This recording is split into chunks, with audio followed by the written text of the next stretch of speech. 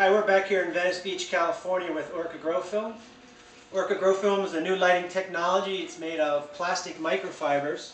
And what's unique about the product, it's both highly reflective and highly diffuse. It's 94% reflective across the full visible spectrum, giving you a consistent performance into all the, the entire spectrum that's important to gardeners. And it's 100% diffuse, eliminating hot spots and creating an even distribution of light for your plants.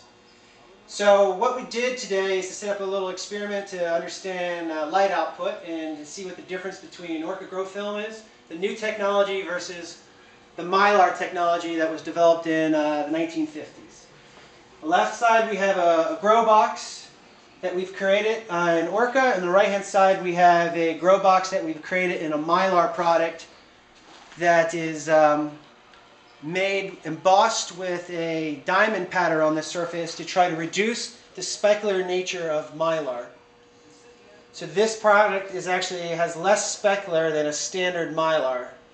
And uh, although you can probably tell a difference if you look at Orca, it's extremely uh, the light's distributed extremely well across all the all the surface. And on the right hand side in the mylar product, you can see some flash points uh, which are potential hot spots for your plants inside the room.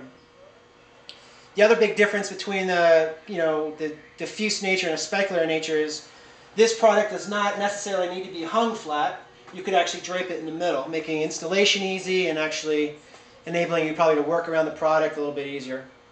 So let's take a look at the performance. Um, what I've done here is um, I've taken a lux reader and I've attached it to a stick in order to um, prevent my shadow from getting in the way of our results.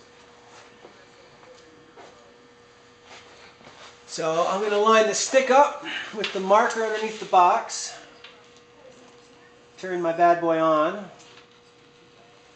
So we've got a 400 watt low sodium uh, HID here being powered by a 600 watt ballast in both of these boxes. And my reading for this box is um, 19,000 lux. Uh, these lights have been on for about an hour now. Um, so the light's pretty consistent. We've gotten consistent readings now. So 19 lux in this one. Let's take a look at the Mylar product. Line that up close as I can.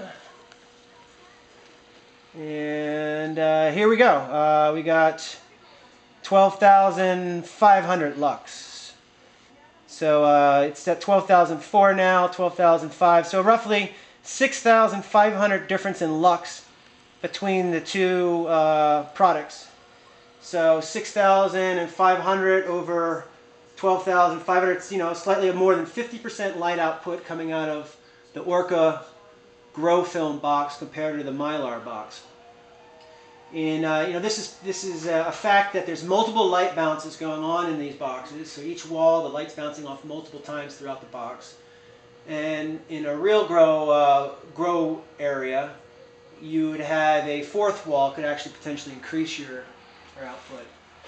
So I guess the test goes well, shows you the performance, how important reflectivity is over the full spectrum and diffuse in you know the work environment. The diffuse environment on the left-hand side gives you more of a, a Star Trek console uh, feel, and the right-hand side has the, the glare of the old NASA projects.